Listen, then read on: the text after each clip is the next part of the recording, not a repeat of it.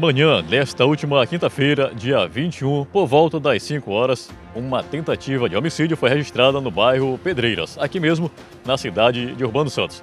Aqui do meu lado, o primeiro sargento, o João Martins, ele que comanda a quinta companhia. O que você pode falar a respeito dessa situação?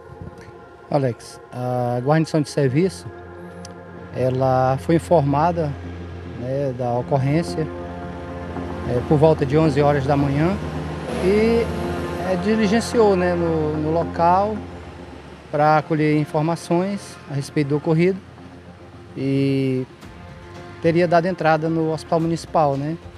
A vítima com cortes, algumas perfurações pelo corpo. Comandante, qual a motivação dessa tentativa de homicídio? Uma vez que tanto a vítima quanto a suspeita são mulheres. Foi relatado para a guarnição de serviço que teria ocorrido uma discussão entre as colegas, uma acusando a outra pelo sumiço de uma quantia em dinheiro, né?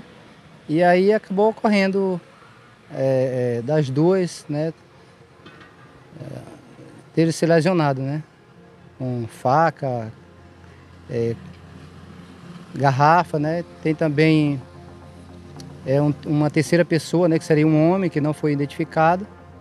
E foi isso que a guarnição de serviço conseguiu apurar.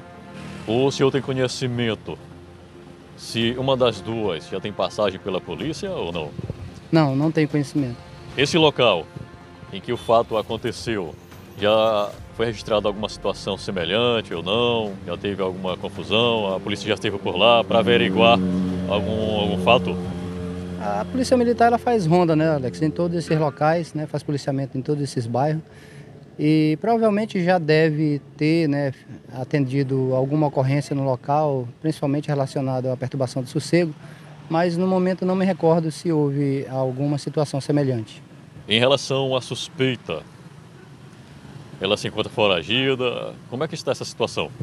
É, no momento eu não sei te informar se, o, se a vítima, alguém da vítima veio para a delegacia registrar algum boletim de ocorrência do ocorrido, mas é, a suspeita é se evadido do local não foi localizado. Ok, portanto, aqui agradecendo ao comandante da quinta companhia aqui do município de Urbano Santos, o João Martins. E não esqueça de se inscrever na TV Outro Nível. Deixe seu like, seu joinha, fortaleça o nosso canal. Grande abraço e até a próxima reportagem.